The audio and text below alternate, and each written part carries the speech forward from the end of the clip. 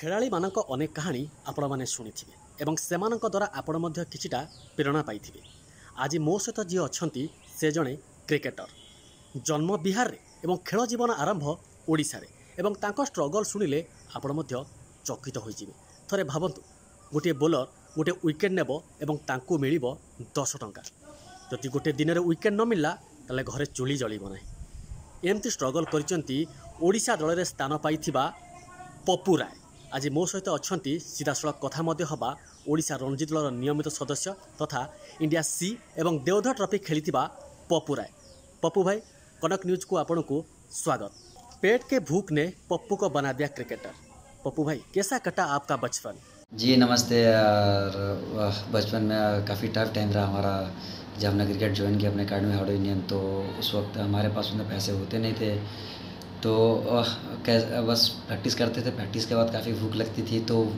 कैसे, क्या करें? फिर वहाँ से सीनियर भैया लोग बुलाते थे नेट पे। बोलते, सर, डाल तुझे दस रुपये देंगे और लंच करा देंगे। तो उसी बहाने भैया लोग को बॉल डालते थे और उस बहाने मुझे डालते थे आउट करते थे। तो भैया लोग लंच करवाते थे, पैसे पैसे देते थे। तो अच्छा लगता था और मेरा गेम भी इम्प्रूव होता था। इंडिया सी के तरफ़ से आप मैच खेल चुके हैं और कैप्टन थे अजिंक्य रहाणे फिर मुंबई इंडियन के तरफ़ से आपको बुलाया गया ट्रायल्स देने के लिए और ट्रायल्स भी अच्छा रहा। आ, इतने बड़े बड़े प्लेयर के साथ आप आ, मिल मिल चुके हैं तो क्या कुछ सीखना मिला उनके साथ?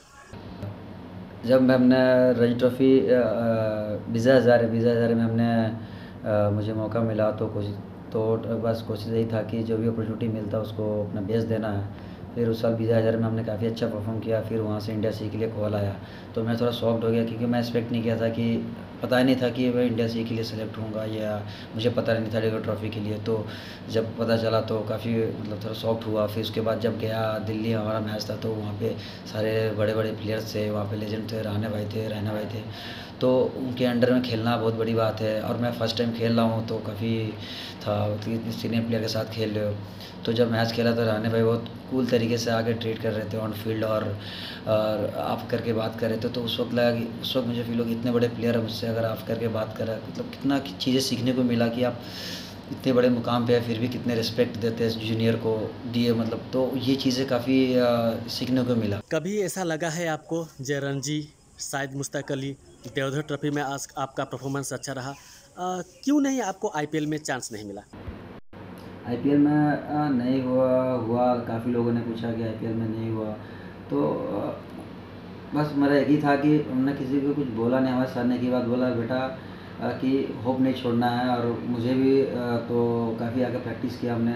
हमने सब बोले अपना गेम पे ध्यान दे, वो क्या हुआ, नहीं हुआ, हमारे हाथ में नहीं है, हमारे हाथ में मेहनत करना तू। तो मेहनत कर और अपना गेम को जितना हो सके इम्प्रूव कर और जितना हो सके, जितने बड़े प्लेयर से, जितना कुछ सीखने को मिल रहा सीखे, उस चीज़ को अप्लाई कर और जब भी मौका मिलता है उस चीज़ को पूरा करना पप्पू भाई, पहले आप मीडियम पेसर थे और ईडन गार्डन में आप सचिन तेंदुलकर को बॉलिंग किया था। और उस बॉलिंग के दौरान सचिन तेंदुलकर आपसे क्या बोले थे और जिसके बाद आप स्पिनर बन गए? जब हमने क्रिकेट स्टार्ट किया तो हम अकेडमी में गए तो फास्ट बॉलिंग करते थे। तो हमारे सर ने, सुई सर ने मुझे देखा और बोला कि बेटा एक बॉल स्पिन कर। तो हमने स्पिन किया तो सर ने वो स्पिन के ऊपर अच्छा हुआ तो सर बोले कि, चल आज से तो स्पिन पे वर्क कर। तो स्पिन पे सर ने काफ़ी मेहनत किया करा है तो क्लब क्रिकेट खेलते थे तो क्लब क्रिकेट में काफ़ी अच्छा परफॉर्म भी रहा वहाँ पर हमारा। फिर उसके दौरान इंडिया वेस्ट इंडीज़ का मैच था। तो सचिन सर का सेकंड लास्ट टेस्ट मैच था तो रिटायरमेंट का तो ड्रीम था कि, सपना था कि सचिन सर को बॉल डालना है। तो गॉड ऑफ़ क्रिकेट है और काफ़ी उम्मीद था। तो कैसे तैसे करके हम ईडन के वहाँ पे गया, फिर ईडन में जाके, सचिन सर को नेट में जाके बॉल डाला हमने। तो काफ़ी खुशी हुआ उस दिन कि आज गॉड ऑफ़ क्रिकेट को हमने बॉल डाला और और सारी रात मुझे खुशी हुई और हमेशा याद रहेगा मुझे कि गॉड को मतलब क्रिकेट रिटायर से पहले हमने उनको बॉल डाला। ପପୁ ଭାଇ ଧନ୍ୟବାଦ ଆମେ ନିଶ୍ଚିତ ଅଭିନନ୍ଦନ ଜଣାଇବୁ ଆପଣଙ୍କୁ ଯେ ଆପଣଙ୍କ ଆହୁରି ବଡ଼ ସଫଳତା ପାଆନ୍ତୁ ଏବଂ ଦିନେ ନା ଦିନେ ଆପଣଙ୍କ ସ୍ୱପ୍ନ ସାକାର ହେଉ ଆପଣ ଭାରତୀୟ ଦଳ ତରଫରୁ ଖେଳନ୍ତୁ ଏବଂ ଓଡ଼ିଶାକୁ ଆହୁରି ଉପରକୁ ଆଣନ୍ତୁ ନମସ୍କାର